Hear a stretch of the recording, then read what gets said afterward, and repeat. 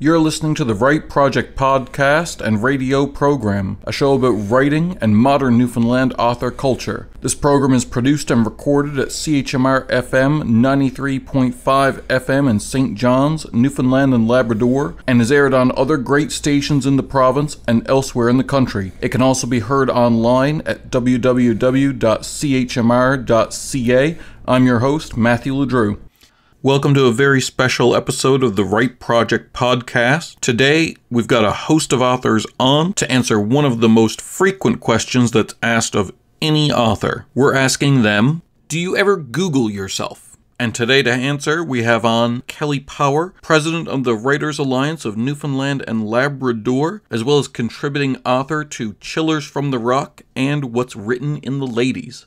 Have you Googled yourself? I haven't Googled myself since I have been writing or involved with the Writers Alliance or anything like that.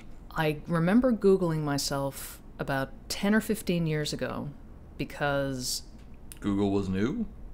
it was very early on. That's very early Google.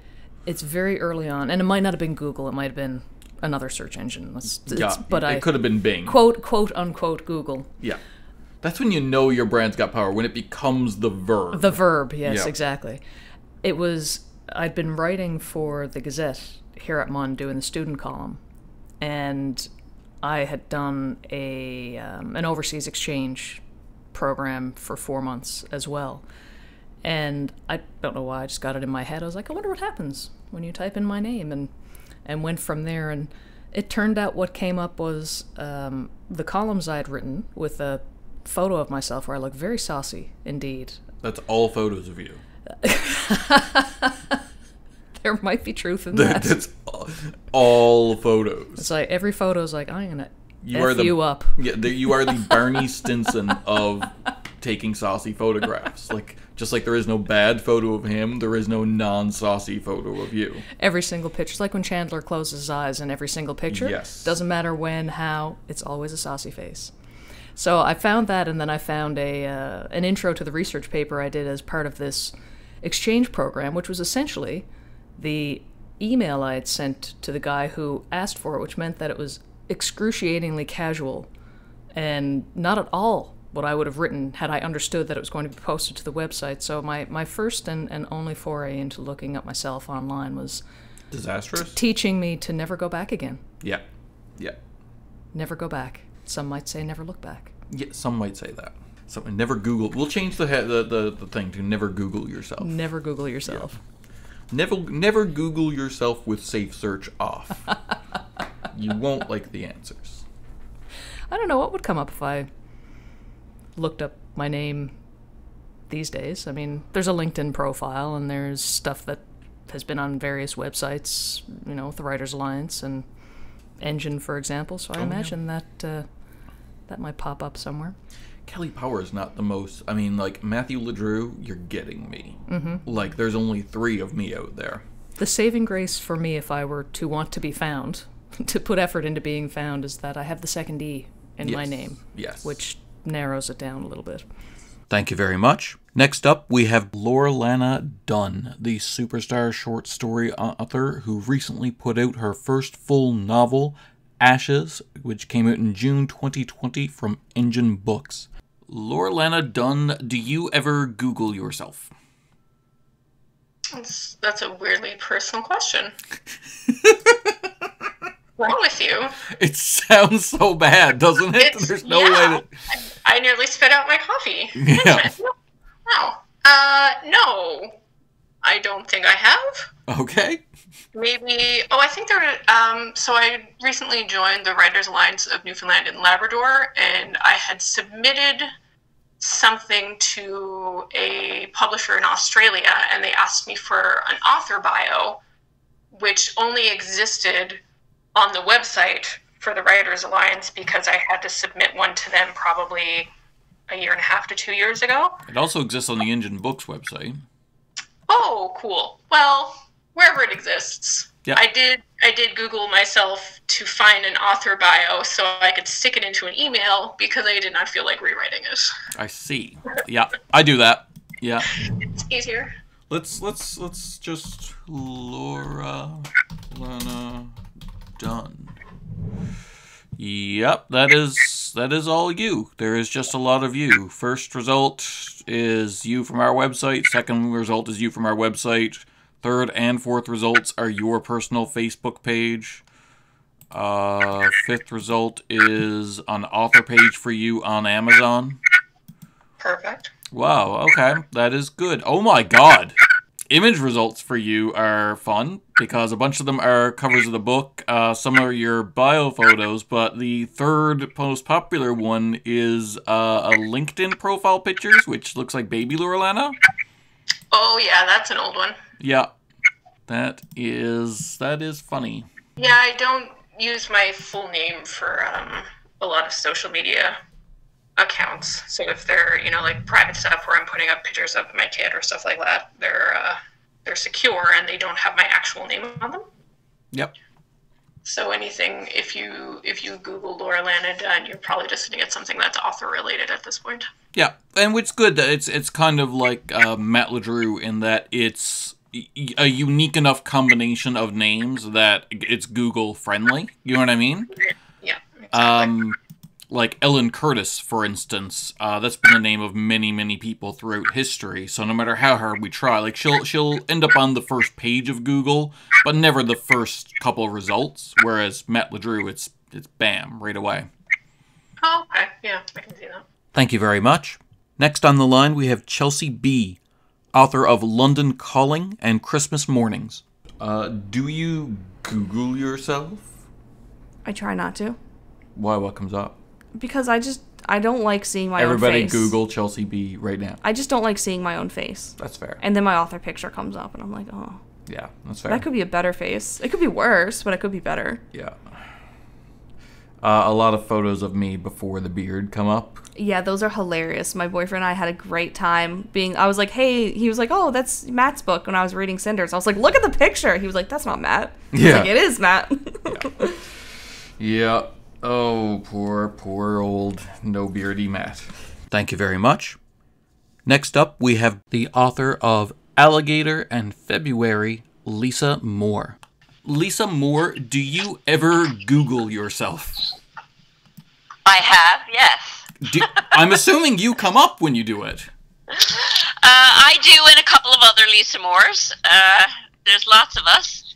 Um, one Lisa Moore uh, probably had to deal with, uh, you know, being questioned about a lot of uh, videotape uh, late charges at some point um, at a certain place where until I cleared up my bill. Oh. Um, but uh, yes, I've done it. I'm guilty as charged. That question in and of itself, like there is a cer- this airs on MUN Radio on CHMR. There is a large segment of the people listening to this live at MUN right now who won't know what a videotape late fee is. Well, it's when you didn't bring the videotape back that you rented in order to watch a movie on your whatever Yeah. Yeah. VHS player. What is it called? What was it called? VHS tape play VHS player. Yeah, I think that was it. Yes, well, it was bad. It was like library books. You, you got fines. Yeah, yeah. Thank you very much. Next on the line we have John Dobbin, best-selling author of The Starving. Uh, have you Googled yourself?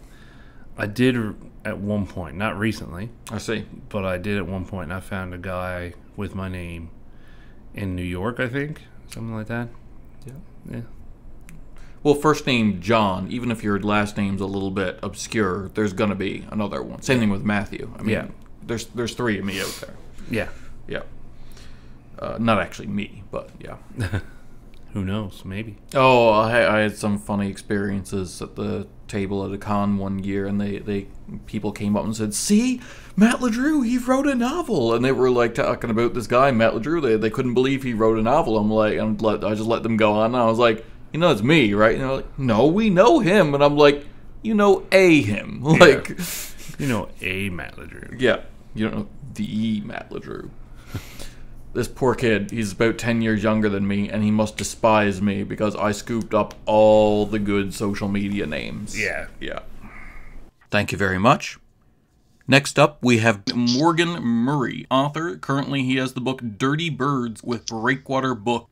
Uh, Morgan Murray, do you ever or have you ever Googled yourself?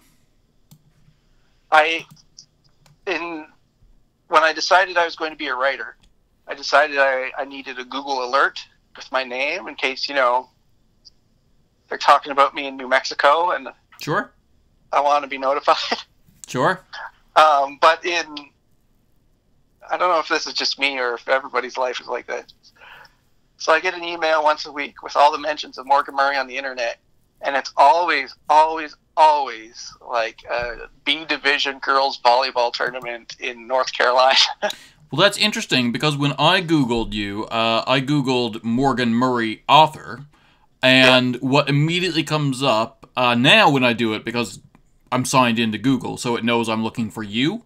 Uh, but when I did it initially, uh, a few days ago, it came up with Murray Morgan, who is an author. Like it's the, spelled the same as you, but the first name and last name are switched. And he was uh, died in the year 2000. Has like 30 books to his credit, and I'm like, oh man, that's no He's good. like a naturalist or something in, yeah, in the West Coast. Like, yeah, he was a journalist Washington and State political activist and all that kind of stuff. Yeah, Sounds like a good guy. yeah, yeah.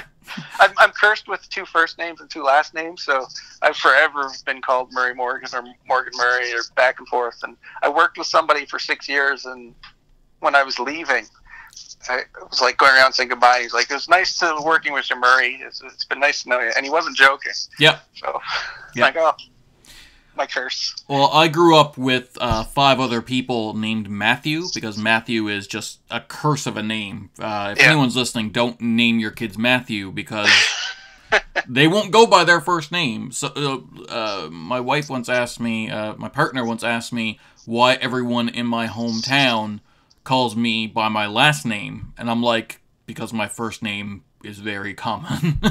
Yeah. yeah.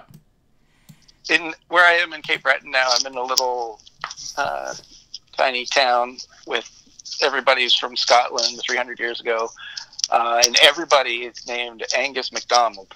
Everybody. I see. And so everybody has nicknames, and they're very elaborate and amazing. So I'm scared to get a nickname here, but there's only one Morgan Murray so far, so I'm safe. You're safe for the moment. Okay. Yeah. Thank you very much. Next on the line, we have Amanda Labonte, author of the Call of the Sea and Supernatural Causes series. Uh, have you ever Googled yourself? Um, yeah, yeah. Uh, I used to, like you, I used to do journalism. So I, I did. I have, and I, I have since forever. Like since there's been available internet. yeah. Um, but also, I'm fortunate that my name's not super common. So I am the first Amanda Labonte that pops up, and I always kind of have been. As I am one of the first Matthew LeDrews. Right. So there's when you when you're blessed with cursed with a, a name that you know not a lot of people have, you're you're gonna have that anyway. And I had a like I I had journalism articles before, so you know I guess the other Amanda Labontes just aren't publishing, so they're Yeah. they don't have the bylines popping up on Google. Yeah. At least Fair. not in Canada. So Yeah. yeah, it's I mean it's it's it's fine. It's fun. Whatever. I don't do it every day. Maybe, maybe what's happening is in other countries where they're Amanda Labontes, Yeah. they want it to sound cool and foreign, so they take off the accent and they call themselves like Mandy Labante or something. No. No. No. no. No. They want to sound like foreign No. and Canadian and cool. No. No. No, Matt. No. No. No. No. No more. Thank you very much. Next on the line, we have Nicole Little. Nicole Little is an acclaimed short story author who has been featured in more than a half dozen titles just in the last year. She has been featured in Kitsora, the autobiography, best-selling Dystopia from the Rock, Flights from the Rock, Monsters, Beyond, and Apocalypse, Apocalypse, Eerie Christmas, Love, and Bad Romance. It's just a plethora of short story material. Currently, she is working on The Lotus Fountain, which is going to be one of the books included in, or novellas included in a big project from Engen Books that we can talk about now called Slipstreamers. Uh, Nicole Little, do you ever Google yourself? No, Oh, I don't think I have. you might now. I might do that now. Yeah. Not right, not right at this moment, but I may do that tonight. Okay. No, I haven't. I don't think I have. I'm kind of afraid to now. yeah, yeah, yeah. Thank you very much. Next up, we have Diana Brown, author of Saltwater Joys. Um, have you ever Googled yourself? Have I ever Googled myself? You were typed into Google Diana Brown. Mm, only when I was looking for, because I, I wrote down, I Googled Saltwater Joys, Diana Brown Yeah. Behind it. Okay, So cool. then it just popped up on Amazon. Yeah. Cool. Yeah. Good. Thank you very much. Next on the line, we have Matthew Daniels, frequent contributor to the From the Rock series, as well as the author of the upcoming novel Diary of Knives. Uh, Matthew Daniels, have you ever Googled yourself? Uh, yes. Do you come up? Yeah. I, I, it turns out I'm a photographer in Europe. Oh, wow. Okay. Right. That's not me. Uh, Okay. so All right. yeah, I did that. The first time I did that, it was just out of curiosity to find out like how many other people have my name. Yep. A That's all I was looking for. This this was before I had anything written and published. Um, I think I've tried it a couple of years ago just to see if any of those stories that I published would uh, would come up. But I mean, something on the scale of Google, you're, you're not exactly going to be on the first search results if you've got a, short story out of Norway and uh, and, a, and a local a few local stories out of out of MUN. Um, you know, you're, you're not going to come up when there are a bunch of authors out there like uh, like McCaffrey and the big science fiction names and, uh, and so on. They're going to come up first. Yeah. you see. But it was it was something to do out of curiosity. Uh, now, though, you are not a photographer. Now you are an ap- academic writer uh, who is an American. Oh wow! Hmm. Hmm. He's born in New York. Or you were. Huh. Hmm. I see. I see. Thank you very much. Next up, we have Ellen Curtis, who serves on the WANL board and is the author of the Infinity series from Engen Books, as well as the editor of the From the Rock anthology. Uh, have you Googled yourself? Not in a long time. Um, I do have a Google alert set up on myself from like a long, long time ago, but I just tend to not look at it before I delete the email. Uh, but a couple of times I've gotten some funny emails where it's like Ellen Curtis is like a person who does space travel and is commenting in this press interview and It's a common name. it's not It's so that's what's interesting to me there's a few of you out there. i mean not many though which is i mean ellen is not that common a name Are are you insane? it's really not Ellen's a very common no name. it's not Okay. I mean i edited that out No. yeah No. i mean you should look at the numbers it's not matthew level common Oh no, nothing's Matthew level common. like i don't think my name has ever been in the top 100 Really? yeah That's interesting. I will look that up actually. That's Yeah. that'd be interesting. Okay. Thank you very much. Next on the line, we have Kayla Krantz, who's calling in from Detroit. Uh, she's originally from Houston. She writes the Rituals of the Night series. Kayla Krantz, do you ever Google yourself? I have a few times just to see if anybody's talking about my books, and I've actually found a couple interesting articles That's great. where great. people. I found one where some people were saying they were talking about like new age television, and somebody actually suggested my books to be made into TV shows. So I thought that made me feel pretty good. Yeah, no, that's amazing. That's a great thing. Thank you very much. Next on the line, we have Brad Dunn, author of After Dark Vapors. Uh, do you Google yourself? Uh, if I'm if, if I'm trying to find links to stuff I've written, yes. I see. Yeah. Thank you very much. Next on the line, we have J.R.H. Lawless, author of the novel Always Greener. Jay, uh, have you ever Googled yourself? Yes. I see. I'm sorry to confess that yes, I have. Um, obviously, it's a bit different considering that obviously I read under a pen name. Uh, I guess, believe it or not, J.R.H. Lawless is not my birth name.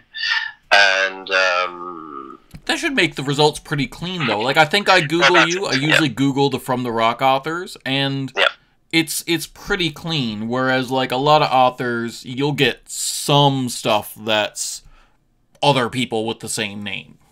well, obviously, when you choose a pen name, and I certainly did, you Google yourself before you decide on the name to make sure that you know other people don't already have the same name or anything too close, so that you sort of you know claim some some you know relatively clear re- real estate as far as the pen name is concerned.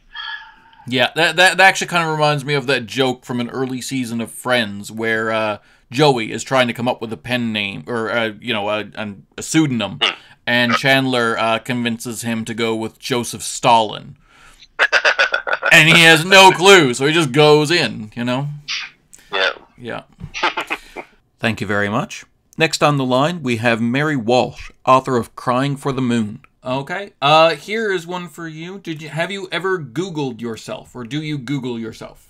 I don't very often, but when the, you know, occasionally I have, when I did my one woman show and when the book came out, I did, just to see if there was anything on there, any reviews or anything.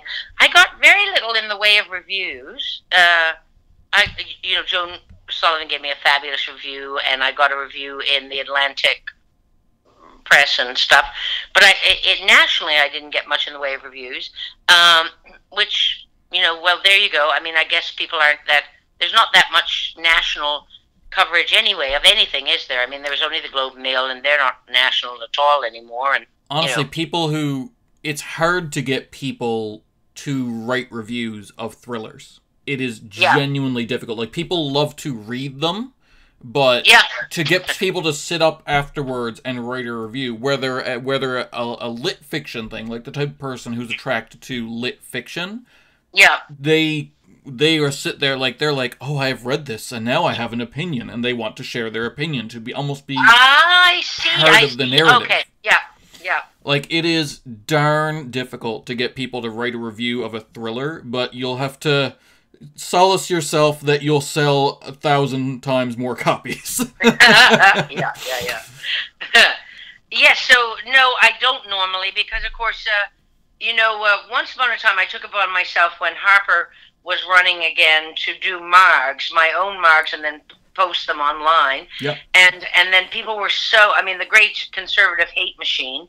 Uh, you know, called me every kind of a big fat old whore that you could think of, and uh, it was just so shocking. I wasn't used to it because I don't. I'd never done anything. I mean, I came from an age before then. People would write to the CBC, I guess, and mostly the CBC didn't give us people who said mean things about us, right? yeah. Like mostly the producer dealt with it, I guess. I don't know. And maybe people, maybe writing a letter and sending it off to the CBC or to Salter Street Films takes more energy and thought, and not as many people did it. But it was quite shocking. And you know, I, I didn't do any more. It was uh, because well, they kind of threat. They said they knew where I lived, and they they kind of threatened me and my son. I I, I was I got frightened. I would say. I'm ashamed to say that I was frightened, but I was. Yeah. Uh, what's interesting though is that uh, at that point I've changed in in recent years. I've you know evolved a little bit and gotten more interested. But uh, at the time that that was happening, I didn't have much interest in politics in general or Canadian politics in specific. So I didn't really have a dog in that race. But actually, Right. it was their reaction to you that made me go, "Oh, I don't want any part of that." And then Yeah. and and like it was honestly as as detrimental as it was to you in your personal life, and I'm sorry about that. I, I do think it actually helped in the way that you wanted it to help because it, it almost in more in a weird way because it's like uh, like their reaction to you and the vitriol that they said that was my, that was when I learned that I was not on that team. You know? Right, right, right. Yes, good, good.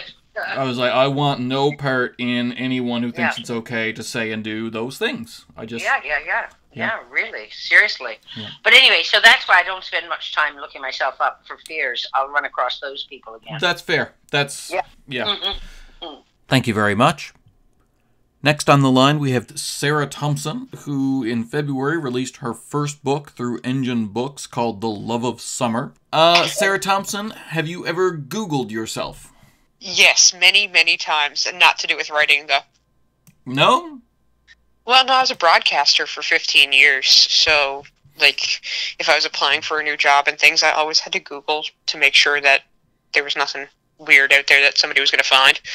Um, The only thing that I ever found with you was that there was a Buffy the Vampire Slayer universe actress who was also named Sarah Thompson. there was, yeah.